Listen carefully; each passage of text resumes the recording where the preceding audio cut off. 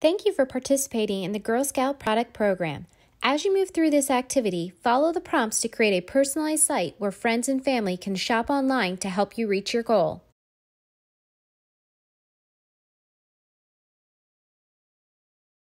Enter your troop number and search for your name. If you go by a nickname, you may also enter that.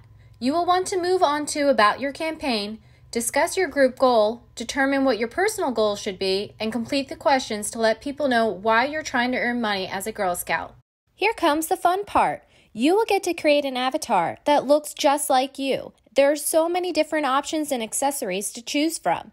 Make sure you make her look as close as possible to you.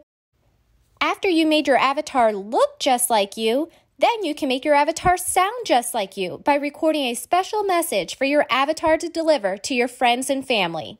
On this page, you will also see what your personalized patch will look like if you earn it, as well as the requirements needed to earn it. You can also upload a photo of yourself and create a unique video using the sample script below and following the important safety tips. The more you personalize your site, the better your results will be.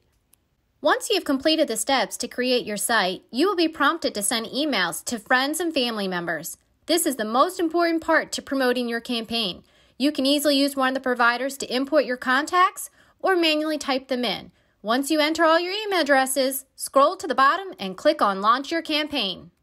Congratulations! You have officially launched your online site for product program. Be sure to share it too by text or on social media.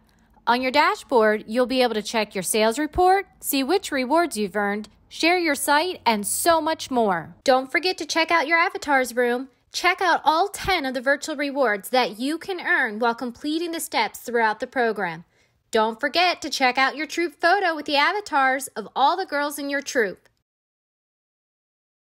Always remember to follow all current guidelines from Girl Scouts for online sales and marketing. Good luck and have fun!